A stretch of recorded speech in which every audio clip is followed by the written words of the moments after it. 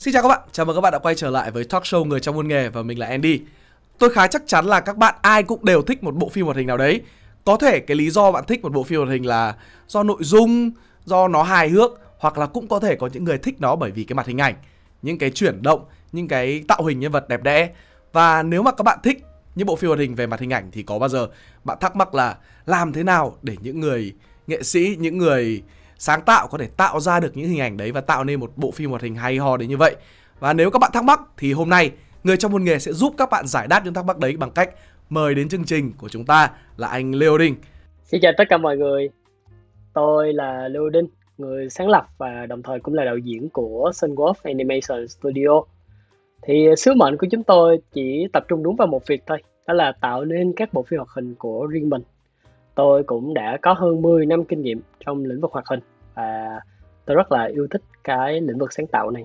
Và nếu các bạn có vô tình biết thì anh Leo cũng là một trong số những tác giả trong cuốn sách Người trong môn nghề ngành sáng tạo và nghệ thuật có gì của bọn mình. À, anh Leo có thể chia sẻ một chút về cái lý do tại sao anh Leo lại quyết định tham gia vào cái dự án cuốn sách Người trong môn nghề ngành sáng tạo nghệ thuật của bọn em được không? Nói về cái uh, cuốn sách Người trong môn nghề thì uh, cái mục đích chính của cái cuốn sách đó, đó là chia chia sẻ với mọi người uh, để làm sao mà các bạn trẻ khi mà muốn dấn thân vào cái con đường uh, sáng tạo nè nghệ thuật nè hoặc là bất kỳ những cái ngành nghề khác ấy có một cái góc nhìn cụ thể hơn để mà mình có những cái sự lựa chọn cho nó phù hợp. Thì uh, tôi rất là thích cái mục tiêu của cái cuốn sách và cũng giống như là cái giá trị đằng sau của nó. Và không có gì mà mà mà từ chối cả khi mà được mời để mà tham gia vào trong cái cuốn sách rất rất là hay như vậy. Ừ, không biết có phải là anh Leo là tác giả không nhưng mà em cảm thấy những cái lời vừa rồi của anh Leo rất là hay. Thế nên là bạn nào mà ở đây mà chưa có sở hữu cho mình cuốn sách người trong môn nghề ngành sáng tạo nghệ thuật có gì thì các bạn có thể mua về và tìm hiểu và để đọc thêm những cái chia sẻ của anh Leo ở trong cuốn sách này nhá. À, có lẽ là bây giờ chúng mình sẽ bắt đầu chương trình buổi nói chuyện ngày hôm nay. Và để khởi động đi thì em sẽ có một vài câu hỏi dành cho anh Leo. Đó là không biết là anh Leo có đọc manga không anh? Đọc chứ, đọc đọc rất là nhiều nữa là đằng khác. Đọc đọc từ hồi bé luôn ấy. anh có ngoài cái việc là anh thích đọc manga thì anh có thích xem hoạt hình không? Xem rất là nhiều nữa là đằng khác. Nữa rồi. cái cái cái thời mà học hình không có dễ xem như bây giờ cái thời mà à. phải chạy ra những cái tiệm mà cho thuê băng đĩa đấy đó thì uh, đó cũng là lúc mà mình uh, bắt đầu uh, mình tiếp xúc với phim hoạt hình. Thì khi mình nhớ là khi mà hồi còn nhỏ xíu á thì hồi đó là nhà mình ở thủ đức. Thì vâng. hay có một cái việc là gì? Là bố mẹ chở con đi chơi uh, gọi là đi sài gòn chơi không con. Uh, thì thủ đức giống như dưới quê vậy đó. Đi sài gòn chơi không con đó thì chạy lên uh, trung tâm chơi ba thì ba rất là thích uh, nghe nhạc nhạc xưa. Cho nên là lúc nào trên đường về uh, cũng tạt ngang một cái tiệm chuyên bán nhạc. Thì khi mà mình vô cái tiệm đó thì mình bắt đầu là mình thấy những cái cuốn băng phim hoạt hình. Thì uh, cái cuốn mà mình uh, xem đầu tiên á đó là phim uh, Pinocchio à, cậu bé người gỗ đó. Ừ. đó là cái cuộn băng mình xem đầu tiên. À. thì uh, bắt đầu là mình mình biết về phim hoạt hình rồi. Thì mình lúc nào mà cứ đi chơi như vậy thì lúc nào cũng đòi ba ghé vô cái tiệm băng đĩa để mà có thể là mua hoặc là thuê những cái uh, phim hoạt hình khác. Anh nghĩ khoảng thời gian đấy vui anh nhỉ? Cực kỳ vui tại con nít mà nhỏ à. thì đâu có gì làm đâu. Ngoài đi học thì đi chơi mà đi chơi mà thí dụ bố mẹ bận không có chở mình đi chơi được thì chỉ có mấy cái đó để làm bạn thôi.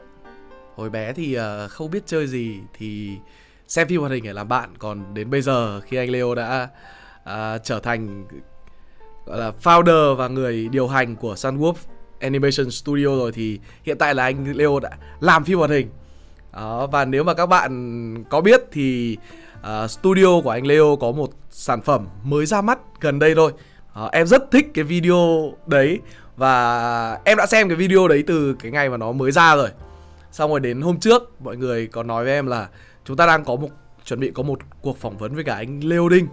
Xong em thấy cái tên này nghe quen quen. Đấy xong rồi thấy Wolf Animation Studio. Xong em mới bảo hình như là mình đã từng xem cái sản phẩm của cái studio này rồi. Đó, và em đã nhận ra là à nó là cái bộ phim animation của Việt Nam làm.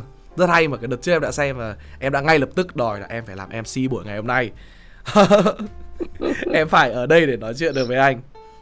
Vậy thì anh Leo có thể chia sẻ một chút về cái cái bộ cái cơ duyên nào để đưa anh đến với cái sự cái sự nghiệp sáng tạo hoạt hình đó nó chắc là một cái câu chuyện ờ, rất là dài là uh, tức là sau này khi mà mình lớn lên á thì à. mình vô tình lúc đó mình cũng có tự hỏi là từ đâu mà mình bắt đầu mình à. bắt đầu cái con đường này thì lúc sau này thì mình mới nhớ là có một cái giai đoạn là mình đắm đuối với hình luôn mà à. từ hồi bé mình nhớ là lúc đó hình như mình còn học tận uh, những năm lớp 3 ấy nhỏ xíu à mình có từng mơ là ok sau này lớn lên mình cũng muốn làm được một cái bộ phim hoạt hình như vậy tức là cái này nó đã gắn liền với mình từ rất là bé rồi từ hồi nhỏ xíu xíu là mình đã muốn muốn làm những cái phim hoạt hình như vậy rồi. Vâng. và rất là may á là cho tới bây giờ là mình vẫn theo đuổi được cái đam mê này. Vì thực sự là khi ở cái năm những năm cấp 3 khi mà mọi người bắt đầu là thường đó là mình sẽ phải chọn chọn trường này, chọn cái ngành nghề mà mình muốn theo đuổi. Thì có, có rất là nhiều bạn cũng gọi là phân vân không biết là chọn cái nào mình thì rất là là may là mình có cái sự kiên định đó là mình mình muốn đi theo cái con đường sáng tạo lúc đó nghĩ đơn giản lắm tại vì mình nghĩ là mình muốn làm một cái gì đó để mà nó không có chán yeah. Dạ. mình nghĩ là mình muốn là cứ mỗi ngày hay là mỗi sáng mở mắt mình đi làm hay gì đấy là mình uh, sẽ được thử những cái điều gọi là mới mẻ thì đó cũng là lý do là mình chọn cái con đường làm uh, sáng tạo rồi uh, sau đó thì khi mà quyết định chọn theo cái con đường làm sáng tạo á, thì mình vô tình rất là vô tình thôi mình biết được là um, có những cái quốc gia họ rất là phát triển về cái mảng hoạt hình đó. thì lúc đó thì mình có nghiên cứu tìm hiểu thứ nhất là uh, các quốc gia ở uh, châu Âu thì có Pháp nè đó. À. rồi sau đó thì có úc nữa thì úc á, thì nói tiếng anh thì rất là thuận lợi cho mình đó. còn pháp á, thì mình không có biết bập bẹ cái ngôn ngữ nào hết thì ban đầu á, còn tính là đi pháp ấy và à. cho rằng đó là mình phải học thuần thục cái tiếng pháp trong một cái khoảng thời gian rất là ngắn thì chỉ trong vòng khoảng uh, một tháng thôi wow. là nhiệm vụ không khả thi rồi tại tại vì cái cái cơ duyên mà mình đi du học là nó tình cờ lắm thì vốn à. dĩ là gia đình thì không không không không có đủ điều kiện để mà cho cho mình đi du học đâu chẳng qua là tự nhiên tới lúc mà mình chọn được cái con đường mình muốn đi á và mình mình tìm kiếm thì mình phát hiện là du học là một cái con đường nó đáp ứng được cái mong muốn của mình. Thì lúc đó thì mọi thứ cũng khá là cận. Đó cho nên là khi mà mình nghiên cứu tìm hiểu các trường đó, thì mình chỉ biết là các trường ở bên pháp hoặc là bên úc thôi. Cuối cùng là thấy là bên úc thuận lợi hơn. Vì uh, ờ, thứ nhất là về ngôn ngữ cái thứ hai là về hồ sơ mọi thứ thì thấy có vẻ là nó cũng sẽ đỡ nhập nhằn hơn rất là nhiều. Đó. thì cuối cùng là ba mẹ cũng cố gắng tạo điều kiện để mà mình uh, được đi du học thì mình qua bên úc rồi mình học về cái lĩnh vực là truyền thông đa phương tiện tức là cái tên tiếng anh của nó là hồi đó là multimedia design vâng. giờ thị trường đã đổi tên thành là cái ngành à, digital design rồi nhưng mà cái tên gốc của nó là multimedia design thì khi mà mình ở bên úc mình học cái đó thì mình học rất là nhiều môn thì trong đó là có những cái môn về hoạt hình về 3D animation, 3D animation và kể cả là motion graphic nữa. Đó. Thì sau khi mà mình học xong á, thì mình về Việt Nam thì cái cái công ty mình làm lại là một cái công ty trong lĩnh vực uh, truyền thông và quảng cáo là Golden Digital đó. Thì khi mà mình về mình vẫn còn những cái kỹ năng để mà làm animation. Thì ngoài là làm việc ở Golden Digital ra hay làm những cái mà liên quan về quảng cáo đó thì mình cũng có nhận uh, freelance làm uh, hoạt hình rồi mình cũng rất là chia sẻ rất là nhiều với sếp mình về cái cái cái cái kỹ năng của mình thì có một ngày thì sếp mình bảo là nên tiếp tục theo đuổi cái cái cái con đường mình muốn cái thế mạnh của mình. Thì uh, thế là mình nghĩ và mình đi tìm những bạn có cùng chí hướng để mà có thể là tiếp tục và cùng theo đuổi cái con đường làm animation với mình. Thì đó cũng là cái khởi nguồn của cái công ty đầu tiên đó là Red Cat Motion. À. Vậy thì cái khoảng thời gian đầu khi anh bắt đầu đi tìm những người có cùng chí hướng, cùng đam mê với anh để uh, gọi là tụ họp lại với nhau để cùng làm, cùng hướng về một mục tiêu thì cái gọi là cái quá trình anh đi tìm mọi người như thế và kết nối mọi người lại với nhau để thành một tập thể nó có gặp khó khăn gì không anh? Nó khó khăn thì có nhưng mà nghĩ lại thì nó vui, đó là thường á thì uh, mọi người sẽ hỏi mình về khó khăn rất là nhiều. Nếu mà trong đúng cái thời điểm đó thì chắc chắn là mình sẽ sẽ nói rất là nhiều về nó nhưng mà sau này khi mà mọi người hỏi khó khăn mà khi mà mình đã vượt qua được rồi á thì nghĩ lại thì mình thấy nó vui hơn là những cái khó khăn tại vì mình đã vượt qua được rồi thì mình nhớ là cái thời điểm đó, đó khi mà mình chia sẻ với mọi người về những cái sản phẩm animation mà mình làm được ấy thì mới có một số các bạn trẻ là liên hệ. À, thì hồi đó thì có Facebook nè forum nè mình cứ share thôi. Thế là các bạn mới liên hệ mới hỏi à, anh nên làm hoạt hình hả? Rồi em thích cái này em thích cái kia. Thì thường á là mình hỏi các bạn là em có biết cái phần mềm này không? À, thì nếu mà các bạn nói có là mình rủ làm chung. Thì à, đó là bạn uh, Trần Đại Dương. Trần Đại Dương à. là đồng sáng lập với Recap Motion những cái ngày đầu. Thì đó thì đó là cái cách mà mình gặp Dương thì mọi người nghĩ là cái gì đó rất là sâu xa hoặc là hai anh em đã biết nhau rất là nhiều hai anh em đã làm việc với nhau rất là nhiều nhưng mà nó không phải như vậy. Tức là Dương nói với mình cái là anh ơi em thích animation. Cái mình hỏi Dương là em biết dùng phần mềm hay không? Cái bạn à. bảo biết ok rồi thế là thì thì mình cũng tìm được uh, những người khác như vậy. Nếu mà mình tìm được phong rồi tìm được uh, các bạn khác cũng thích. Mặc dù là các bạn chưa có làm bao giờ nhưng mà có cái kỹ năng. Đó. Thì mình mới rủ các bạn là cùng cùng làm chung với mình. Thì khi mà có dự án thì mình chia ra. Người làm cái này người làm cái kia. Thì ai mà chưa có kinh nghiệm thì mình sẽ cùng uh, training hướng dẫn nhau thì đó là cái tiền thân của cái đội ngũ ban đầu của Red Cat Motion thì sau một cái khoảng thời gian mà mình mình phát triển lên ấy thì mình tiếp tục mình tìm được những cái bạn trẻ có cũng có chung cái đam mê đó Vâng. Đó, và bắt đầu là mình, mình chia sẻ nhiều hơn mình làm workshop mình làm talk show mình đào tạo mình huấn luyện đó.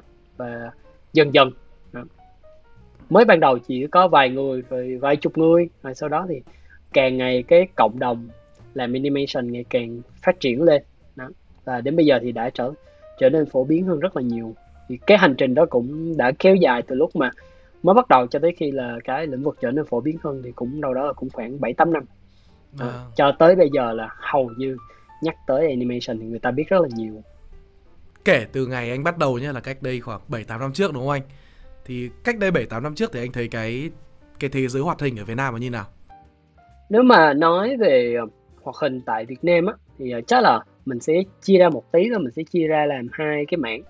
Tức là vâng. ban đầu á hoạt hình uh, Việt Nam á đó là những cái phim hoạt hình mà chiếu trên uh, truyền hình những cái phim hoạt hình mà cho trẻ con uh, xem á những cái chương trình à. ví dụ mọi người nhớ như là những những bông hoa nhỏ đi đó thì lúc đó là lĩnh vực hoạt hình là đã có ở Việt Nam rồi đó nhưng mà mọi người chưa biết nhiều đó là mọi người chưa biết nhiều về cái khái niệm đó là mọi người khi mà nghe tới hoạt hình thì mọi người thường nghĩ là dành cho trẻ con cho con nít. Đó. Nhưng mà còn một cái khái niệm nó rộng hơn là mình dùng cái từ là animation á. Tại vì mình tin rằng là hoạt hình không chỉ cho trẻ con người lớn cũng à. có thể xem được nữa. Đó. Thì khi mà mình về Việt Nam á khi mà mình dùng tới cái khái niệm hoạt hình á người ta đều cho rằng để cho trẻ con như vậy cho nên là mình mới không có dùng cái từ hoạt hình á mình đổi sang một cái cụm từ đó là từ animation luôn. Đó. Và cái việc lúc đó của mình là mình tin rằng đó là mình cần phải làm cho cái khái niệm này trở nên phổ biến hơn cần phải trở nên rộng rãi hơn. Thì ở cách đây khoảng 7 8 năm về trước á, thì khi mà nói tới hoạt hình thì người ta đã biết tới rồi. Đó, nhưng mà khi à. mà nhắc tới animation đó, thì người ta chưa có có nhiều cái khái niệm về nó. Thì cái lĩnh vực ban đầu mà Cat Motion làm á đó là dùng cái animation đó để mà phục vụ cho các à, nhãn hàng. Đó. và nói nói đơn giản hơn là đi làm quảng cáo đó quảng cáo bằng animation.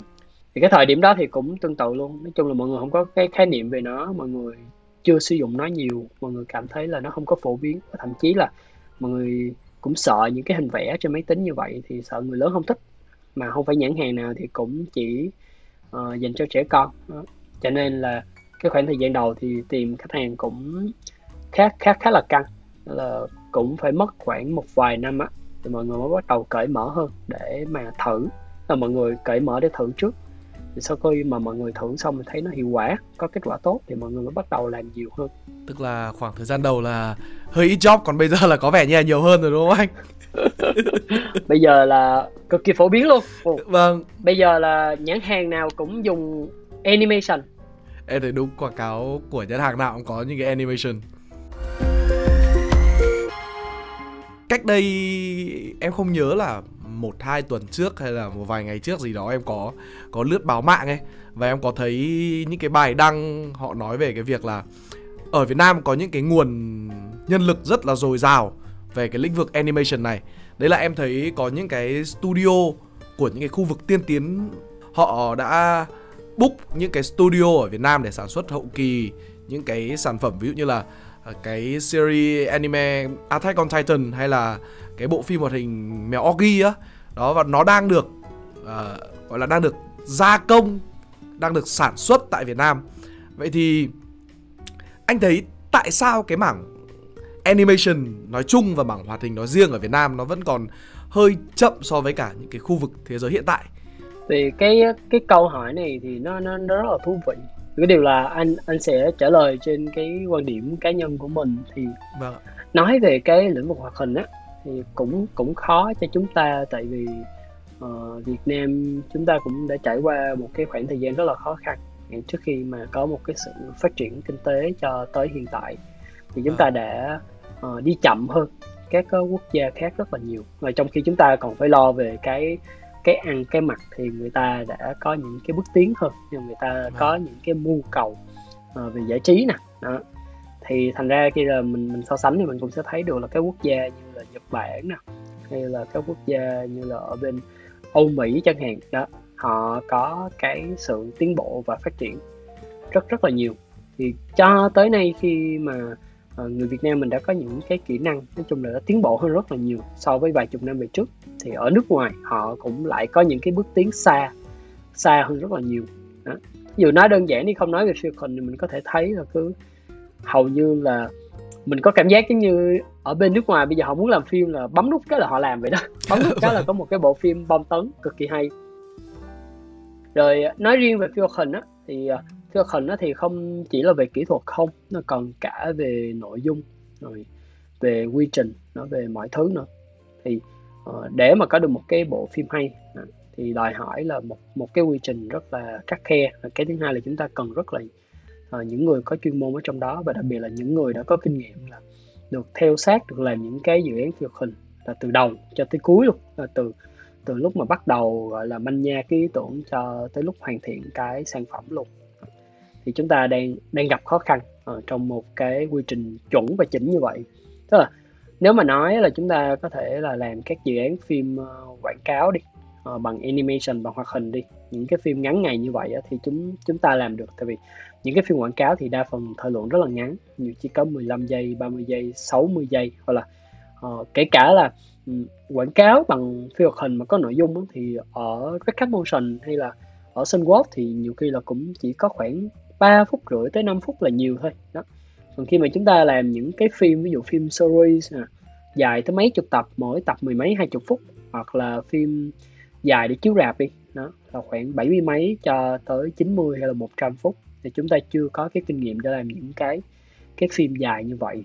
Đó. và khi mà làm những tức là mỗi mỗi phim mỗi cái lĩnh vực nó lại cần đòi hỏi những cái chuyên môn khác nhau. Đó, ví dụ chúng ta có thể rất là giỏi về quảng cáo nhưng mà khi mà chúng ta làm phim thì chúng ta bắt buộc là phải có những cái kỹ năng những cái mindset những cái kinh nghiệm rất là khác nhau ở trong cái lĩnh vực làm phim. Thì chúng ta đang đang thiếu những người như vậy. Đó.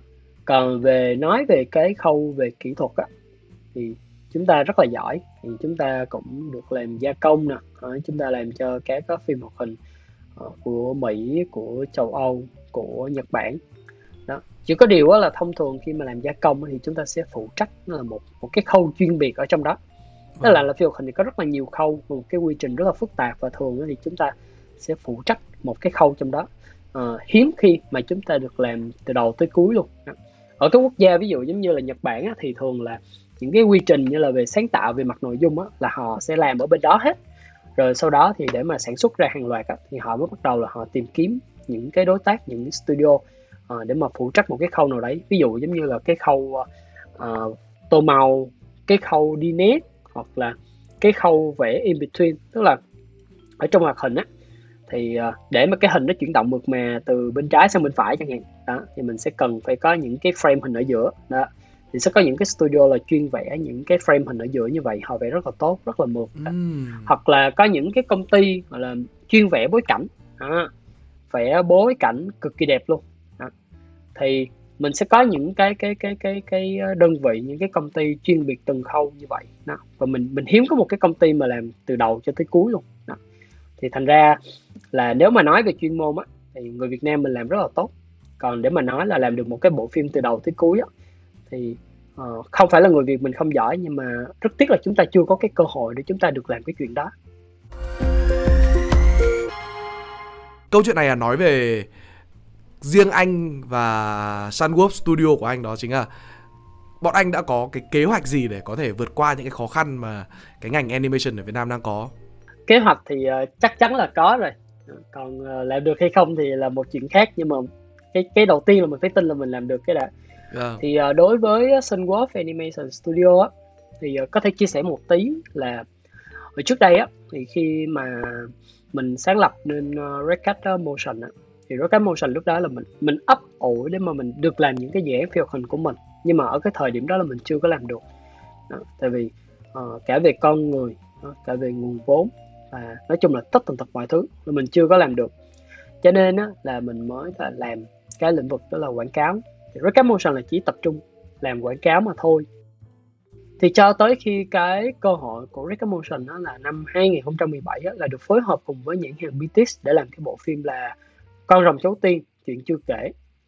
Thì đó là một cái phim hoạt hình uh, mà mà đến giờ vẫn được xem là một trong những cái cái cái truyện kể lại là uh, hay nhất thành công nhất và được rất là nhiều người xem người quan tâm và đồng thời là cũng giúp cho nhãn hàng có được rất là nhiều những cái giải thưởng danh giá ở trong quốc tế luôn. Và cái bộ phim nó có một cái ý nghĩa rất rất là tích cực tức là ngoài việc là mình được làm phim hình thì cái uh, ý nghĩa đằng sau là mình muốn giúp cho mọi người gọi là tự hào hơn. Đó, về cái dòng máu con rồng cháu tiên của mình giúp cho mọi người tự tin hơn khi mà bước ra thế giới. Thì đó là một trong những cái ý nghĩa mà giúp cho cái bộ phim thành công. Thì khi mà làm xong cái phim con rồng cháu tiên đó thì mình thấy ồ, mọi người đón nhận tốt quá. Khán giả Việt Nam có cái niềm tin. Đó. họ rất rất rất rất là yêu thích tin vào những gì mà người Việt đang làm. Cho nên là mình tự tin hơn một bước mình cho rằng là ok có thể là thời điểm chưa tới nhưng mà đây là lúc thích hợp để mà mình có thể là bắt đầu làm một cái gì đó của riêng mình. Thì từ đầu năm 2018 á, thì Recap Motion là mới tách ra một cái đội ngũ chuyên biệt để nghiên cứu và thử làm một cái dự phim hình của mình. Thì cái đó cũng là chính là tiền đề của Sunwolf Animation Studio. Và cái thử này á, cũng đầu đó là cũng mất cả 4 năm trời từ 2018 cho tới cuối năm 2021 để mà mình thử xem là mình có thể đi được tới đâu mình làm được tốt tới mức nào. Thì sau 4 năm đó khi mà mình mày mò mình vật lộn mình thử nghiệm mình ra được một cái kết quả đầu tiên đó là cái phim uh, U Linh Tích Ký Bột Thần Kỳ ấy. Thì mình mới tự tin hơn về những gì mình đã làm. Và chính xác là vào ờ, tháng 6 năm 2022 thì là Sunwolf Animation Studio ra đời và tách riêng hẳn luôn là một công ty chỉ tập trung làm những cái dự án hình của riêng mình. Và để làm được cái việc đó thì mình có một cái lộ trình của mình kéo dài là từ 12 cho tới 13 năm. Thì mọi người sẽ thắc mắc rất là nhiều là tại sao cái lộ trình nó dài như vậy? À, bản thân mình thì ở ở trong cái lĩnh vực này mình đã trải qua 4 năm để mình nghiên cứu cho nên mình biết để làm ra được một cái bộ phim dài mà giống như mình mong đợi thì rất là lâu. Thì trong cái 13 năm đó thì mình sẽ uh, phát triển hai cái dự án một cái dự án là hành trình nhân quả và cái dự án thứ hai là tản viên phong châu. Thì cái dự án tản viên phong châu á, thì có tới 3 phần phim lận. Thì mình dự kiến là cuối năm 2025 thì mình sẽ xong phần 1 rồi 3 năm tiếp theo thì sẽ là phần 2 và uh, mình tin rằng đó là sau sau một cái khoảng thời gian phát triển như vậy rồi thì cái quy trình của mình sẽ tối ưu hơn và mình có thể là làm phim nhanh hơn. Thì hai năm sau đó thì sẽ là phần 3 tức là thay vì 3 năm thì mình tin rằng là mình có thể rút ngắn còn 2 năm rồi sau đó thì mình tiếp tục là mình sẽ cho ra mắt là cái series Olympic ký. Tức là cái Olympic ký một thần kỳ mà mọi người nếu có dịp xem ở trên YouTube á, thì chỉ là một cái demo thôi. Và cho tới tận là khoảng 2000 theo như cái kế hoạch của mình là 2032 đó thì mình sẽ ra mắt nguyên một cái series luôn. À, một cái series Olympic ký có rất là nhiều tập phim trong đó. Và mỗi tập phim là một cái câu chuyện về một cái tình huống hay là một cái nhân vật nào ở trong cái thế giới của của Olympic ký và 2035 là mình sẽ ra mắt cái phim Hành trình nhân quả. Thì đó là một cái hành trình khoảng 12 13 năm. Và trong cái hành trình đó thì sẽ có khoảng từ 4 tới 5 dự án phim như vậy. Đó. thì nó là một cái hành trình là mình tin rằng là với cái khả năng hiện tại của Sunwolf thì mình sẽ cần phải đi như thế thì mình mới có thể là uh, đạt được những cái kế hoạch những cái mục tiêu của mình nghe anh nói là cái cái cái cái video ở trên YouTube nó chỉ là một cái đoạn demo nhỏ nhỏ thôi và em đang cảm thấy rất là hóng chờ cái sản phẩm cuối cùng năm 2032 hả anh? Ờ, đúng rồi 2032 là là là là, là dự tính là sẽ có cái cái series Olympic ký hoàn chỉnh và em mong là trong khoảng thời gian sắp tới thì uh, Sunwolf Studio có thể gọi là phát triển hoặc là mọi người có thể tối ưu hóa quy trình hơn để cho bọn em có thể sớm xem cái series này hơn bởi vì thật sự là em rất nghe anh nói đấy, xong em rất là nôn. Đó. À, bây giờ chúng ta nói ngắn thôi đấy chính là cái quy trình để anh sản xuất ra cái cái video Olympic linh tích ký ở trên youtube cái bản trailer đấy. Thì anh có thể chia sẻ một chút về cái quy trình sản xuất ra được một cái sản phẩm như thế được không? Nói về cái phim đó đó là cái phim đó thì ờ, nó chỉ có khoảng ờ, 7 phút rưỡi thôi nó là một cái phim demo thôi. Nhưng mà để sản xuất ra được cái phim đó thì nó là một cái hành trình rất là lâu. Thì đầu tiên á là cái mục tiêu của Sunwolf khi mà làm tất cả các dự án là muốn phát triển được một cái thế giới. À, giống như thế giới mà mình đang ở vậy đó. Thì thế giới của mình nó cũng sẽ rất là rộng lớn nó có những cái vùng đất rồi nó sẽ có thành phố rồi nó sẽ có những cái sinh vật mà sống ở trong cái thế giới đó. Cũng giống như là những cái nguyên lý để mà cái thế giới nó được vận hành. Mình vẫn hay nói vui á là ngay cả Việt Nam mình còn chưa đi hết nhưng mà nói chi là nước ngoài thì khi mà mình xây dựng một cái thế giới như vậy thì làm sao mình có thể là hiểu được hết về nó, làm sao để mình có thể khám phá được hết về nó. Thì đó cũng chính là khi cái cái khó khăn bắt đầu trong cái việc phát triển thế giới. Tại vì đó là một việc mà mình chưa từng làm bao giờ. Mà mình chỉ có những cái hình dung, có những cái ý tưởng thôi. Nhưng mà khi thật sự làm ra cái thế giới đó thì mới bắt đầu là gặp những cái khó khăn trong cái việc là mình sẽ vẽ cái gì trước mình sẽ bắt đầu như thế nào. Đó những cái sinh vật đi đó, mình sáng tạo ra rất là nhiều nhưng mà trong cái thế giới này các sinh vật sẽ sống với nhau như thế nào. Đó, thì bắt đầu là mình có những cái thông tin cụ thể đó là mình giống như là mình đi về đó đi tới đâu thì mình biết tới đó. Giống như là mình đi khám phá luôn. Đó.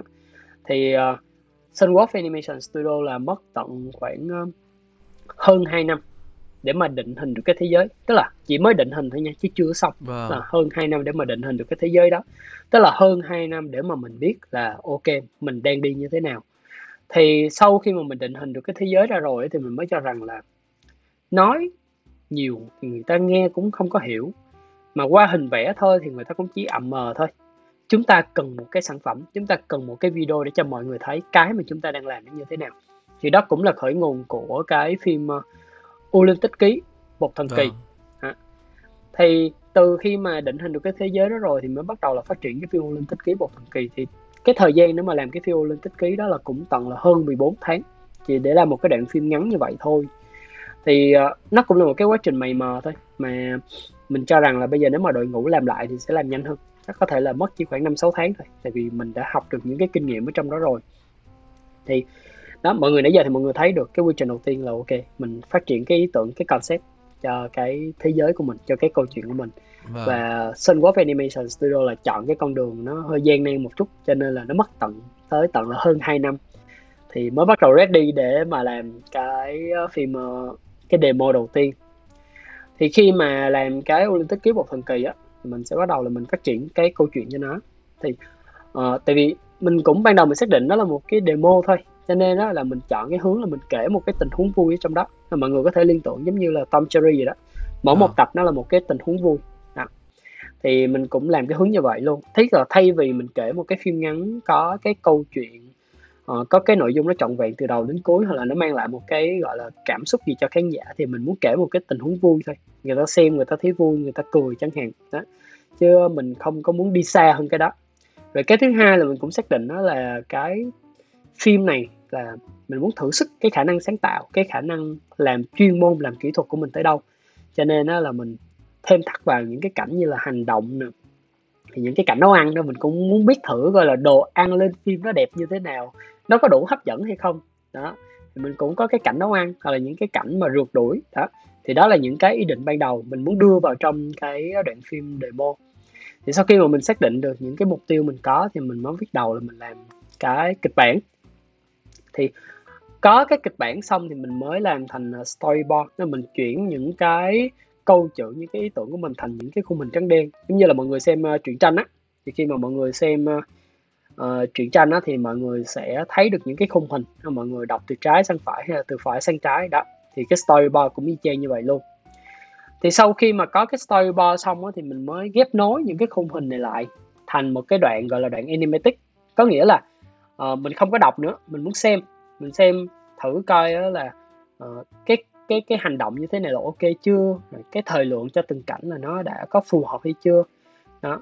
Thì sau khi mà mình ghép lại hết mọi thứ mình có âm thanh mình có uh, thoại nhát. Cái phim Olympic ấy không có thoại nhưng mà một số phim khác sẽ có thoại đó. Thì mình test hết kiểm tra mình thấy ok rồi á. Thì mình mới bắt đầu là mình đi vào cái quy trình sản xuất thật sự. Thì nãy giờ mà những gì mình kể về trước nó thường gọi là cái khâu tiền kỳ.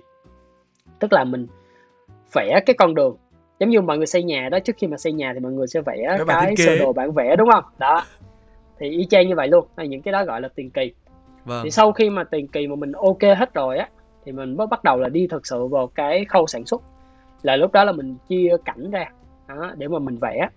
Thì ai mà phụ trách background thì sẽ lo phần background. Ai mà phụ trách về cái phần làm diễn xuất chuyển động cho nhân vật thì sẽ lo về cái phần chuyển động cho nhân vật còn bạn nào mà phụ trách về hiệu ứng ví dụ lửa là khói nè đó thì các bạn sẽ làm về cái phần hiệu ứng vâng. thì ở trong cái khâu sản xuất thì ban đầu mình cũng sẽ vẽ thô tức là mình sẽ vẽ chì thô thôi mình vẽ nhanh đơn giản để mà mình kiểm tra cái chuyển động xem thử coi là nó có mượt hay chưa nó có đúng hay chưa thì sau khi mà những cái bản vẽ thô đó mà ok hết rồi á mình mới bắt đầu mình đi nét đi nét xong á thì mình mới là tô màu đó rồi mình ghép hết toàn bộ là bối cảnh nè rồi ờ, hình vẽ nhân vật này hiệu ứng lại với nhau. Đó thì mình mới có được một cái khung hình hoàn chỉnh. Đó. thì sau khi mà mình xong hết toàn bộ những cái uh, nguyên liệu đó mình ghép nối thành một cái phim hoàn chỉnh á thì bắt đầu là mình bổ sung như là hiệu ứng âm thanh rồi âm nhạc. Đó để mà ra được cái phim cuối cùng. Thì khi mà mình chia ra cái quy trình như vậy á thì mọi người thường nghĩ là mình sẽ phải làm xong cái bước này mới tới bước kia. Nhưng mà thực tế thì nó không có như vậy ví dụ ngay cả cái khâu mà âm thanh âm nhạc á, là mình đã phải bắt đầu ngay từ ngay từ sớm luôn rồi vâng. là ngay từ khi mình làm kịch bản á, là mình đã phải xác định mong muốn coi là mình muốn cái phần âm nhạc nó ra làm sao hay là cái chỗ đó đi đó. ví dụ uh, tưởng tượng đây là mình muốn khán giả biết là có một cái cảnh là nhân vật sẽ mở cửa đi vào vâng. nhưng mà mình không muốn thấy cái cảnh người ta mở cửa mình chỉ muốn nghe cái âm thanh thôi và mình đoán được là người ta mở cửa đi vào chẳng hạn thì đó là những cái hiệu ứng âm thanh là mình cũng đã phải tính ngay từ đầu tại vì nó là một phần của cái việc kể chuyện của cái storytelling luôn. Đó thì những vâng. cái đó đã phải được tính toán ngay từ ban đầu luôn. Đó. Thì quy trình thì kể cho mọi người thì nghe thì nó hơi đơn giản một tí nhưng mà thực thực tế làm thì nó sẽ uh, phức tạp hơn rất là nhiều. Nhưng mà nhìn chung thì mình sẽ có những cái bước là tiền kỳ là chuẩn bị ý tưởng mọi thứ. Rồi sau đó có khâu sản xuất là vẽ tô màu làm hiệu ứng và cuối cùng là hậu kỳ là mình sẽ ghép hết tất cả lại với nhau thành một cái phim hoàn chỉnh thêm âm nhạc thêm âm thanh hay là chỉnh màu gì đó nếu mà cần thì đa phần tất cả các phim thì đều sẽ có ba cái quy trình lớn như vậy đó là tiền kỳ sản xuất hậu kỳ đó. Và ở mỗi cái uh, quy trình lớn thì sẽ có những cái quy trình nhỏ hơn ở trong đó nghe anh kể cái quy trình chúng ta sản xuất để có được một cái sản phẩm như là cái video u linh tích ký đi xong mà em muốn gọi mọi người cầm cho em một đồ uống gì có đường cái ra đây cái em tủ huyết áp đến nơi rồi anh ạ. Nghe nó thật sự là nó nó gian truân nó rất là dài. Và đó là toàn bộ cái quá trình mà sản xuất ra một bộ phim thật sự là nó rất rất rất là khó khăn. À, em có đọc được trong một quyển sách đấy chính là quyển sách nghệ thuật đánh cắp ý tưởng của Austin Kleon trong đấy có một cái đoạn quyển sách này còn nói là sáng tạo ấy là nhiều khi là dựa trên những cái ý tưởng mà đã thành công đã có từ lâu rồi để lấy nó làm cảm hứng. Vậy thì anh Leo nghĩ sao về câu chuyện này? Ừ, câu này cũng hay ta. Tại vì thật uh, thực sự á khi mà mình làm việc trong cái lĩnh vực uh, quảng cáo á thì vâng. thường á là lúc nào mình cũng sẽ hay gặp cái tình huống là khi mà mình nghĩ ra một cái ý tưởng nào đó mà mình cho nó là mới vâng. và khi mà mình kể cho người ta nghe thì người ta đã thấy à, cái này người kia làm rồi à, cái này người nọ đã làm rồi chẳng qua thật ra là gọi là gì ta mình chưa học rộng hiểu nhiều cho nên là mình chưa biết tới đó. cho nên là khi mà mình biết tới rồi thì mình lại thấy là cái ý tưởng của mình ờ, thì thật ra nó cũng không có gì mới cả và thật sự luôn á là mình uh, kể cả khi là làm uh, sáng tạo hay làm quảng cáo hay là làm phim đi chăng nữa thì mình sẽ đều thấy là mọi thứ đều có một cái khuôn mẫu. Và chẳng qua là uh, mình sẽ sử dụng cái khuôn mẫu đó như thế nào.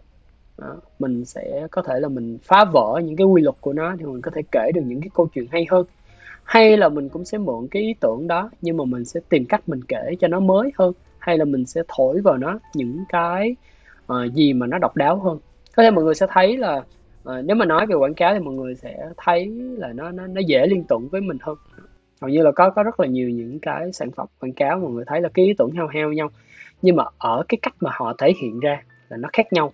Đó có khi là họ kể một cái câu chuyện nó khác biệt hơn hoặc là họ sẽ ứng dụng một cái công nghệ nào đấy để mà làm cho người ta cảm thấy thích thú hơn khi mà tương tác với những cái sản phẩm quảng cáo như vậy. Vâng. thì cho rằng đó là là đối với cái cái cái cái cái câu nói trong cái cuốn sách đó thì mình cho rằng là nó nó rất là hay nó rất rất là đáng để suy ngẫm. Đó và đồng thời nó cũng giúp cho mình gọi là à, thận trọng hơn trong cái việc gọi là triển khai cái ý tưởng của mình ra bên ngoài. Mình cần phải có một cái sự nghiên cứu đào sâu đó để mà mình có thể là làm cho cái ý tưởng của mình trở nên có cái sự khác biệt. Và từ nãy giờ em thấy anh Leo nhắc đến cái cái định nghĩa là là làm quảng cáo và làm à, làm sản phẩm đi. Thì trong phim ảnh ấy trong phim nhá trong phim nói chung ấy thì em thấy có có hai hai kiểu. Đấy là một kiểu là những cái phim làm ra để đem ra dạp bán vé. Đó và em em tạm gọi nó là những cái phim thương mại đi. Và có những cái phim mà sản xuất ra để uh, đi thi những cái giải và nó có tính hàn lâm và và nhận được cái sự công nhận của những cái người có chuyên môn cao về phim vậy thì trong cái ngành làm animation này và hoạt hình này thì nó có cái cái định nghĩa thế không anh? Tức là nó có chia ra làm giữa sản phẩm nghệ thuật và sản phẩm thương mại không anh? Thật ra là nó nó có có thể là thật ra là vui lắm. Thì hôm bữa là mình mình cũng có gặp là một số bạn à, đạo diễn trẻ đó. Mọi người cũng à. có thảo luận về cái vấn đề này. Đó tại vì uh, có người thì khá là tò mò. Tại vì khi khi mà những người mà họ quan tâm về cái lĩnh vực này á thì họ sẽ luôn thắc mắc là ví dụ là sẽ có những người khi mình bảo là ủa em làm hoạt hình hả? Vậy làm sao để uh, lấy lại lời? Làm sao để lấy lại vốn? Đó. Hoặc là sẽ có những người chỉ quan tâm đến cái việc là làm ra được cái cái cái phim đó thôi làm ra được cái phim để mà thể hiện cái tiếng nói quan điểm của mình. Đó thì hôm bữa mình cũng có tham gia một cái buổi như vậy để nói chuyện với rất là nhiều bạn trẻ à, bạn trẻ thôi chứ chứ chứ mình mình chưa thảo luận với những anh lớn trong ngành nhưng mà lúc đó thì mọi người cũng có những cái quan điểm rất là thú vị. Thì lúc đó mình có chia sẻ một cái góc nhìn của mình. Tức là mình có mình có nói rằng á mình cho rằng đó là những cái phim uh, hoạt hình mà nghệ thuật á hoặc là những cái phim hoạt hình mà indie á thì uh, có cảm giác giống như là uh, người tác giả người đạo diễn là muốn thể hiện cái quan điểm của mình đó, qua cái phim đó nhiều hơn và qua cái phim đó thể hiện một cái quan điểm một cái thế giới quan hoặc là một cái cảm xúc nào đó ờ, có liên quan về cái cá nhân của người đạo diễn về một cái vấn đề về một cái sự kiện hay là uh, kể cả về cái suy nghĩ của riêng mình. Ờ, giống như là một cái phim để mà người ta thể hiện cái tiếng nói của mình. Và cái phim đó nếu mà uh, được đón nhận có thể là sẽ được đón nhận bởi những người có cùng cái sự đồng điệu những người mà có đủ cái khả năng để mà cảm thụ về nghệ thuật. Giống như là mình hay nói vui là những cái phim mà đoạt giải thưởng hàng lâm á thì vâng. rất là khó xem. Đó. Tại vì cái người xem phải là cái người mà có uh, những cái kiến thức có cái học thuật có cái sự uyên bác hoặc thậm chí là phải có đủ cái khả năng để mà cảm thụ nghệ thuật trong đó thì mới xem được. Đó. Thì uh, mình cho rằng là cái cái cái cái những cái cái dòng phim á mà thể hiện cái cái tiếng nói riêng của người ờ, đạo diễn á của cái tác giả đó. Thì là uh, mình cho rằng đó là những cái dòng phim rất rất là nghệ thuật. Nghệ thuật ở đây thì có thể là mình định nghĩa theo những cái quan điểm rất là khác nhau. Nhưng mà mình có thể thấy là những cái dòng phim như vậy thì thường là phải có những người có sự đồng điệu thì mới xem được. Thì cái nhóm khán giả đó thì không có nhiều à, rất rất là ít. Còn đối với những cái dòng phim mà cần phải bán được vé cần phải tiếp cận được với rất là nhiều nhóm khán giả. Uh, không chỉ người lớn mà còn có thể là trẻ em. Và bên cạnh đó là uh, không chỉ là phim không đó người ta còn có thể khai thác được những cái sản phẩm từ phim ví dụ như là đồ chơi nè đó hoặc là mọi người đi xem phim ví dụ ở các rạp phim mọi người thấy những cái ly nước có hình cái con nhân vật đó hoặc là những cái áo thun có hình nhân vật ở trong cái phim đó.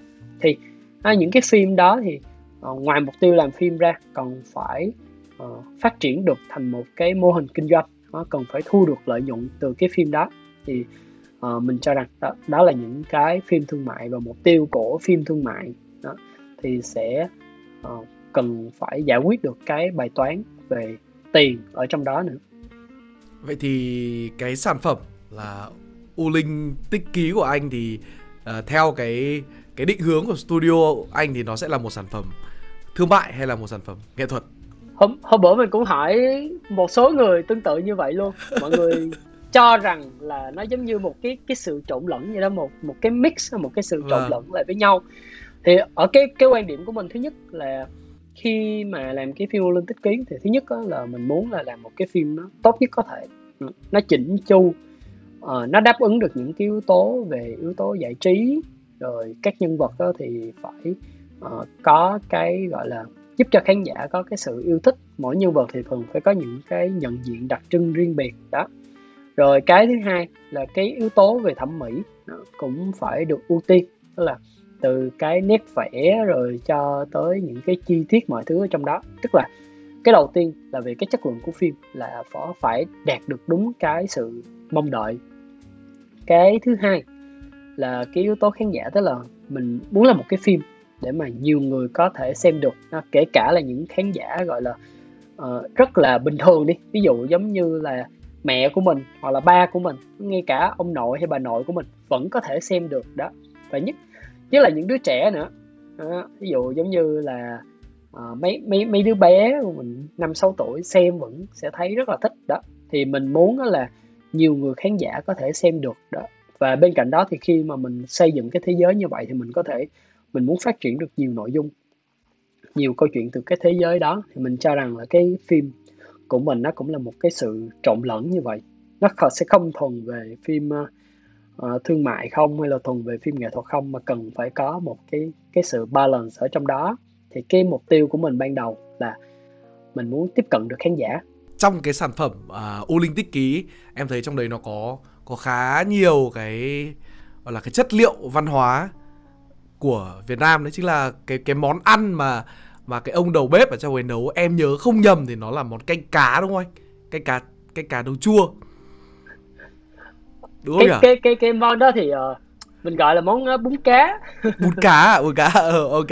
Vậy thì cái gọi là cái chất liệu văn hóa truyền thống ấy thì em thấy là thời gian gần đây cái việc mà lấy cái chất liệu văn hóa truyền thống làm phim ở Việt Nam nó nó rất dễ gây tranh cãi vậy thì định hướng của studio anh là như nào mà lại vẫn chọn cái cái định hướng này vẫn chọn cái cái chất liệu này? Nói về cái định hướng của studio khi mà đưa uh, văn hóa Việt Nam lên phim nó không phải là sự chọn lựa mà nó là cái mong muốn ngay từ ban đầu luôn. Tức là nó có thể là khác với những cái uh, công ty khác khi mà họ làm một cái gì đó họ sẽ đặt vấn đề là mình sẽ chọn cái gì để mà mình làm chọn cái gì để mà thu hút khán giả nhưng mà đối với Sunwolf nó là định hướng ngay từ ban đầu luôn tại vì khi mà mình phát triển Red Motion ngay từ ban đầu á cái mục tiêu của mình đó là mình uh, luôn hướng tới là những cái sản phẩm Việt Nam cái thứ hai là mỗi khi mà mọi người có cái thời gian rảnh rỗi là lúc nào mọi người cũng sẽ làm những cái dự án cá nhân đều lấy cảm hứng từ Việt Nam cả đó. cho nên đó là khi mà uh, làm những cái sản phẩm phim hình đó mình cũng xác định ngay từ đầu luôn cái cảm hứng của phim sẽ được xây dựng từ thế giới Việt Nam xung quanh mình.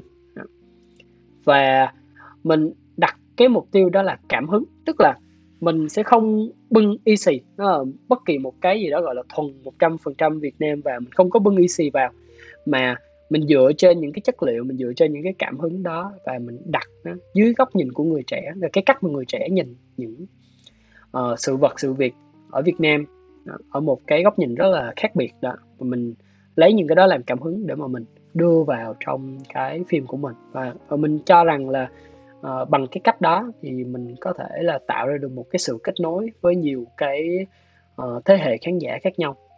Thì đó là cái định hướng ngay từ ban đầu của Sunwolf Animation Studio luôn. Và có lẽ là qua cái cái khoảng thời gian nói chuyện từ nãy đến giờ của anh em mình thì các bạn khán giả cũng đã cũng đã hiểu hiểu thêm về anh Leo và à, có một cái góc nhìn sâu hơn về studio của anh. Vậy thì em nghĩ là bây giờ đã đến lúc mà chúng ta cần phải đi đi sâu hơn nữa. Đấy là em sẽ sẽ giúp các bạn tìm hiểu thêm về cái ngành làm animation ở Việt Nam và mong là anh Leo sẽ giúp các bạn có được những cái câu trả lời mà khiến các bạn thỏa mãn giống như là cái cách mà sau khi em xem xong cái phim kia kiểu em sướng đấy và ví dụ nhá ví dụ em là một à, một người muốn đi học về animation thì mà em không muốn ra nước ngoài em chỉ muốn học ở Việt Nam thôi vậy thì anh có có một cái gợi ý nào cho cái việc là em có nên chọn em nên chọn ngành nào và nên chọn trường nào để học nếu mà muốn theo đuổi animation ở Việt Nam gần đây thì uh, nếu mà nói ở Việt Nam mình đó, thì uh, vẫn chưa có một uh, trường lớp gọi là uh, bài bản đào tạo về animation đó. Vâng. tại vì có thể là mình cũng không rõ cái lý do nhưng mà có thể nói là khi mà tiếp xúc với animation đó, thì đòi hỏi những cái kỹ năng rất là khác biệt đó. Và cũng cần có cái uh, người thầy mà đủ kinh nghiệm để mà dạy nữa. Ý ý ở đây là uh, mình sẽ phải cần rất rất là nhiều người như vậy thì maybe là mới có thể là tạo thành một cái ngành để mà dạy đó. Còn hiện tại ở Việt Nam mình thì cũng có nhiều người nhưng mà có có thể là vẫn chưa đủ để mà có thể là tạo thành một cái ngành để mà đủ dạy cho cho rất là nhiều bạn uh, quan tâm. Thì cái đó là cái cái suy nghĩ cá nhân của mình thôi. Rồi uh, cái thứ hai là cũng có rất là nhiều những cái trung tâm nó cũng có dạy về uh, animation nhưng mà thường sẽ dạy một cái một một vài những cái kỹ năng cơ bản ở trong đó thôi. Đó và đòi hỏi là người học là sẽ phải học thêm những cái kỹ năng khác. Ví dụ giống như là uh, sẽ có những cái lớp dạy về animation nhưng mà dạy chuyển động trên máy tính đi. Còn nếu mà mấy bạn là muốn uh, gọi là chuyên sâu thêm về vẽ tay chẳng hạn đó thì phải học thêm những cái khóa riêng biệt khác. Tức là mình chưa có một cái khóa nào bài bản từ đầu tới cuối luôn. Còn cái thứ ba là nếu mà vẫn muốn học thì thường á là có những cái sự ờ, lựa chọn sau này. Nếu mà mình muốn học uh, gọi là bài bản tức là đào tạo chuyên môn bài bản thì mình có thể là học ở cái trường đại học đại học mỹ thuật, đại học kiến trúc. Và sau khi mà mình học xong á, thì mình có thể là lựa chọn là mình sẽ tự học thêm các kỹ năng về animation. Có thể là tự học ở trên mạng, hoặc là mình có thể là đi ra nước ngoài. Đó. Thì ờ, ra nước ngoài thì khá là tốn kém, cho nên là nếu mà mình không có đủ điều kiện thì mình vẫn có thể tự học. Tại vì các khóa học ờ, đào tạo về animation ở trên mạng rất là nhiều thì ờ, uh, sẽ đòi hỏi là mình phải trau dồi cái kỹ năng tiếng Anh cho tốt để mình có thể là học cho nó tốt. Còn cái thứ hai là nếu mà mình xác định là mình có đủ cái khả năng mà mình tự học thì mình có thể là uh, mà mà mà không không đi ra nước ngoài được thì mình có thể đăng ký những cái khóa học online luôn. Ờ, ở nước ngoài thì có sẵn những cái khóa học online mà học một năm hai năm chuyên sâu về animation luôn nhưng mà là mình sẽ học uh, online đó. Còn nếu mà mình có đủ điều kiện nếu mà đi ra nước ngoài thì quá tốt rồi. Cái đó thì thì thì, thì mình mình mình có thể là chọn những cái trường ở các quốc gia ví dụ ở Mỹ nè rồi hoặc là ở nếu mà tiếng Anh á thì có thể ở Mỹ ở Canada hoặc là ở châu Âu còn nếu mà bạn nào gọi là thích tiếng Nhật chẳng hạn đó thì qua Nhật quá tốt luôn ừ. ngày trước anh học ở bên Úc là anh học trường gì đây anh trước anh uh, bên úc thì mình học trường uh, Swinburne uh, à. Swinburne University thì uh, trường đó là uh, cái ngành của họ là chuyên về design. Đó. Và họ có cái chuyên khoa chuyên khoa về animation. Nhưng mà cái khoa animation của họ thì uh, đa phần là sử dụng các công cụ máy tính nhiều hơn. Tức là trường đó thiên về công nghệ nhiều hơn. À, và em đang chuẩn bị hỏi anh một câu hỏi mà có lẽ là các bạn cũng rất tò mò và chắc chắn là các bạn muốn em hỏi câu này từ nãy giờ rồi. Đấy là anh có thể chia sẻ một chút về cái cái cái thu nhập đó cái thu nhập ở đây thì em uh, để để kiểu dễ hiểu hơn theo kiểu từng level nhá thì anh có thể chia sẻ một chút một chút xíu rằng là mức lương của các vị trí ở trong team sản xuất của một bộ phim thì nó sẽ sẽ dao động ở khoảng như nào ví dụ như là cho một cái dự án dự án như là U Linh Tích Ký đi thường á là đối với cái lĩnh vực uh, animation á hoặc là kể vâng. cả là trong cái lĩnh vực thiết kế sáng tạo thì thường thì sẽ có những cái mức lương nó khá là chung với nhau. Vâng. Thì uh, mình sẽ chia ra. Ví dụ là những bạn nào mà mới mới gọi là mới tiếp xúc về cái lĩnh vực này mà phải bắt đầu mà phải học học việc chẳng hạn. Đó được đào tạo từ bài bản ngay từ ban đầu đó. tức là các bạn sẽ có kỹ năng nhưng mà các bạn chưa có làm cái ngành này bao giờ mà các bạn muốn Vâng. thử làm. Thì uh, mình sẽ có những cái mức như là học việc thì tùy. Học việc thì có chỗ thì sẽ là không lương nhưng mà có chỗ Vâng. thì có trợ cấp trợ cấp cho các bạn thì thường sẽ không có nhiều nhưng mà chỉ gọi là mang tính hỗ trợ thôi. Có thể là uh, 2 triệu hay là 4 triệu cái đó thì là tùy ở cái công ty. Vâng. Rồi sau khi mà các bạn học việc xong học việc có có công ty thì các bạn sẽ học 2 tháng nhưng mà có công ty các bạn phải học tới 6 tháng hoặc là thậm chí có những công ty phải học tới một năm tại vì mình phải đủ kỹ năng thì mình mới có thể làm việc được. Đó. Thì sau khi mà mình học việc xong gọi là mình đủ cái kỹ năng để mà mình có thể làm cái công việc chuyên môn thì công việc chuyên môn cũng tùy. Ờ, tùy chuyên môn là cái gì. Vì trong hoạt hình thì chia ra nhiều khâu ví dụ khâu làm ý tưởng khâu làm chuyển động rồi khâu làm clean up hay tô màu. Đó. thì nhìn chung là khi mà các bạn ờ, mới bắt đầu á, thì thường cái mức lương của các bạn sẽ dao động có thể là từ uh, 6 triệu rưỡi cho tới 8 triệu hoặc là 10 triệu. Đó. thì cái đó là dành cho những bạn ờ, mới bắt đầu.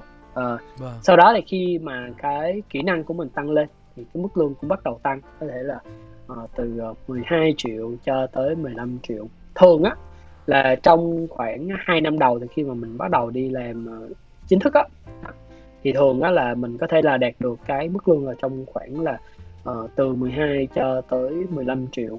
Và những bạn mà có từ 3 năm trở lên á thì có thể là uh, đạt những mức lương trong khoảng như là 18 20 chẳng hạn. Đó.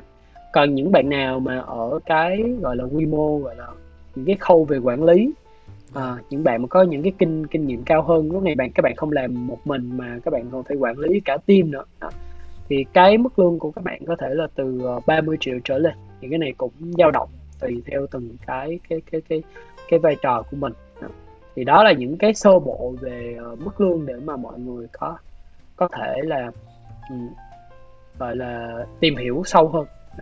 Anh Leo có thể chia sẻ là rằng là làm thế nào? Không anh có thể chia sẻ đấy là câu chuyện của anh đi.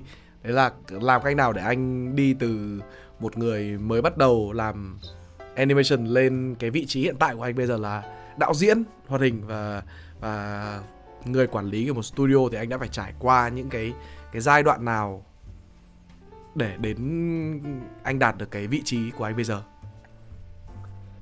Chắc là cũng cũng khó nói, tức là thì uh, mình mình ở trong cái ngành này mình cũng tiếp xúc được với nhiều bạn trẻ thì cũng có những bạn là bắt đầu từ đầu. Ừ, cũng có những bạn thì cũng ờ, gọi là làm việc ở các công ty một thời gian thì sau đó thì cũng khởi nghiệp của riêng mình. Thì uh, mình nhìn lại thì nhiều khi mình thấy cái mình cũng có xíu may mắn hơn. Có nghĩa là uh, mình mình muốn mình muốn khởi nghiệp ngay từ ban đầu rồi. Vì cái cái thời điểm khi mà mình bắt đầu Red Hat Motion, lúc đó mình chỉ mới 21 tuổi thôi.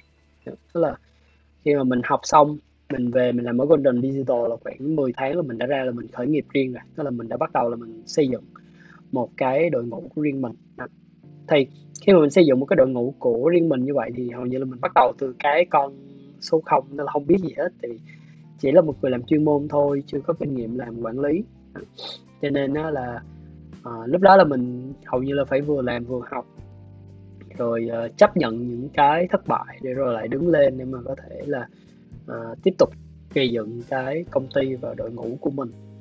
Thì uh, có nghĩa là mình đã bắt đầu ngay từ lúc đầu như là là là là mình đã muốn có cái đội ngũ của riêng mình uh, để cùng thực hiện cái giấc mơ về animation rồi.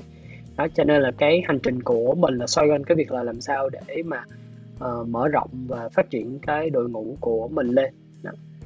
thì cái cái cái hành trình của mình ngay từ đầu xác định như thế rồi cho nên là cũng cũng khó để mà mà nói là nếu mà một bạn mới bắt đầu thì các bạn sẽ sẽ sẽ sẽ nên như thế nào ấy thì nếu mà chia sẻ về cái góc nhìn cá nhân đó, từ những cái mà mình quan sát được đó, thì thường là đầu tiên là mọi người khi mà tốt nghiệp hoặc là khi mà đi làm á, thì đều sẽ phải làm thử một thời gian xem thử coi là mình có thích hay không mình có phù hợp hay không mình có cái định hướng hay không. Rồi sau đó thì mình phát triển lên. Khi mình phát triển lên đó thì sẽ tùy thì sẽ có có những có sẽ có những người đó thì các bạn sẽ thích làm việc quản lý nữa. Đó. nhưng mà lại có những người cũng chỉ, chỉ thích làm chuyên môn thôi. Đó. thì cái đó thì chắc là phải gọi là dựa vào cái quá trình mà các bạn làm việc. Đó, thì các bạn sẽ tìm ra được cái điểm mạnh điểm yếu của mình để mà các bạn có thể là viết tiếp những cái hành trình tiếp theo của mình. Còn kể cả nếu các bạn không có cái hành trình hay không có cái định hướng gì cũng không sao cả mình mình cứ làm thôi rồi. Từ từ mình sẽ khám phá ra được cái gọi là cái cái cái mình hiểu rõ về bản thân mình thì mình à. sẽ biết là mình sẽ nên làm cái gì.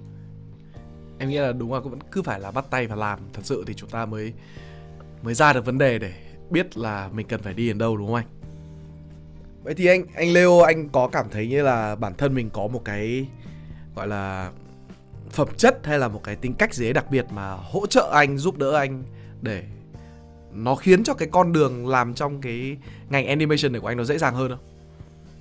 Ừ. Mà em mà anh nghĩ là mọi người cần có, cần phải có.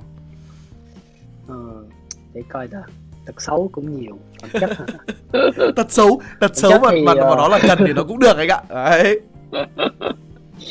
phẩm chất thì chắc là uh, chắc là sự kiên trì á.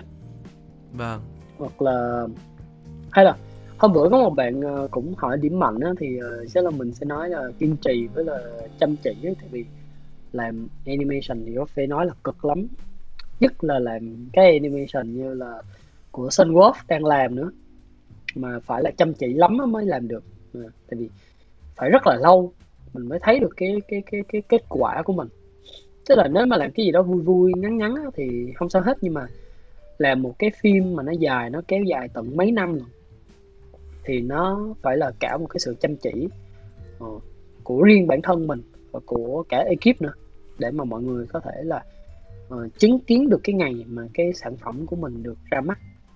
Nó, nó, nó rất là lâu cho nên mình nghĩ là uh, cái sự kiên trì và cũng giống như là cái sự chăm chỉ là cái yếu tố rất là quan trọng để giúp cho mọi người có thể là uh, theo đuổi được cái lĩnh vực này.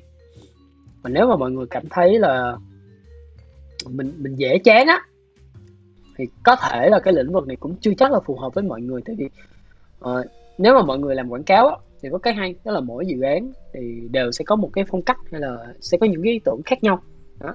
mình có thể đổi từ cái này sang cái kia đó. nhưng mà còn làm phim uh, hoạt hình mà đặc biệt là những cái phim dài mà kéo dài tới tận mấy chục phút á. Đó. đó thì cái dự án đó thì uh, nó sẽ kéo dài ra rất là nhiều năm.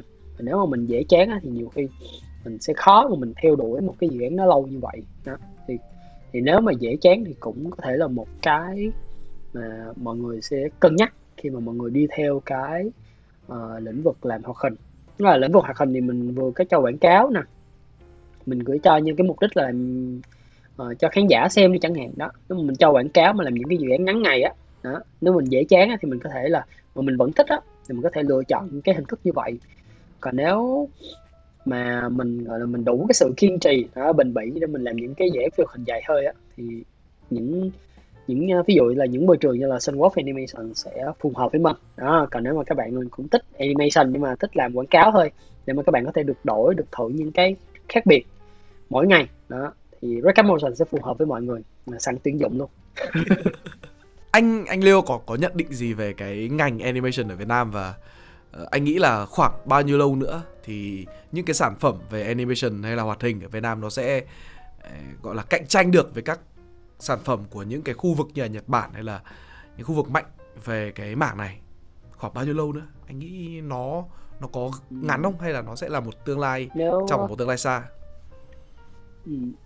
nếu mà nói về uh, lĩnh vực hoạt hình tại Việt Nam á thì mình thấy là đang phát triển uh, có nhiều cơ hội cho các bạn tại vì thứ nhất là mình còn mình mình chưa có nhiều thành vâng. ra là có cái cơ hội để mà mình phát triển và đặc biệt là các bạn trẻ là quan tâm đến lĩnh vực hoạt hình là rất là nhiều ở Việt Nam vâng. cái thứ hai nếu mà nói để cạnh tranh với uh, các quốc gia khác thì chắc là mình sẽ không có dùng cái từ cạnh tranh mà mình cho rằng đó là uh, mình hy vọng là mình có được những cái sản phẩm nó nó nó, nó chỉnh chu để mà mình có thể là uh, không chỉ chiếu cho khán giả Việt Nam mà còn có thể chiếu cho khán giả quốc tế. Thì uh, mình dùng cái cái cái từ là mình cố gắng ra được cái sản phẩm như vậy thì mình nghĩ là nó sẽ phù hợp hơn. Tại vì uh, tại vì uh, ở quốc tế họ đi nhanh quá cho tới khi mà mình nghĩ là khi mà mình đạt được tới cái tầm của họ thì mình cho rằng là họ đã ở cái tầm gì khác rồi. Cho nên là rất là khó để mà dùng cái từ cạnh tranh như vậy. Thì uh, với cái mục tiêu của Sunwatch thì mình muốn là trong khoảng 3 tới 4 năm nữa mình có thể hoàn chỉnh được một cái phim. Và mình hy vọng là cái phim đó là có thể là chiếu được cho cả khán giả quốc tế xem. Thì đó là cái mục tiêu của mình. Là một người đi trước là một người uh, bắt đầu tham gia vào cái lĩnh vực làm animation và hoạt hình này từ rất sớm từ 7 8 năm trước thì anh Leo đến thời điểm này ở trên cái cương vị là một người quản lý một team, một studio sản xuất animation thì anh có nhắn nhủ gì tới các bạn trẻ đang muốn theo đuổi ngành animation nói chung và ngành đạo diễn hoạt hình nói riêng không? Uh, nói với uh, các bạn thì uh, cứ theo đuổi thôi tại uh, bây giờ có lẽ là thời điểm thích hợp để ờ, chúng ta cùng bắt đầu. Làm một cái gì đó ờ, nó tươi sáng hơn. Có thể nếu nếu mà nói là vài vài năm trước đó, thì uh, mọi người có thể ngại mọi người sẽ không biết là cái lĩnh vực này sẽ phát triển như thế nào ấy. Nhưng mà thời điểm hiện tại thì mình cho rằng là ừ, nếu mà mọi người đã có cái uh, là cái sự đam mê ừ, có cái sự dùng cảm thì mình cứ tiếp tục. Mình mình mình hãy bước vào cái con đường này. À, thế nên là các bạn hãy hãy cứ tự tin vào bản thân, nếu mà thích thì thì cứ dấn thân vào con đường này thôi. Và nếu mà nó hợp với các bạn thì các bạn sẽ phát triển được ở trên đấy, đúng không anh? Cần đấy thông tin cũng đã rất là đủ để cho các bạn muốn tìm hiểu về cái lĩnh vực này. Và rất cảm ơn anh Leo đã tham gia chương trình talk show của người trong môn nghề. Và là, mong là người trong môn nghề sẽ có thêm những cái buổi nói chuyện khác với anh Leo để giúp các bạn giải quyết những cái vấn đề nào mà các bạn có. Và nếu các bạn muốn hỏi thêm anh Leo về vấn đề gì thì các bạn có thể comment ở phía bên dưới và có lẽ là chương trình đến đây cũng đã khá dài rồi nên là tạm biệt anh Leo và mong rằng chúng ta sẽ sớm được gặp nhau ở bên ngoài để anh có thể cho em xem link của cái bộ phim kia được không? Em muốn xem quá. Ờ, cảm ơn mọi người nha.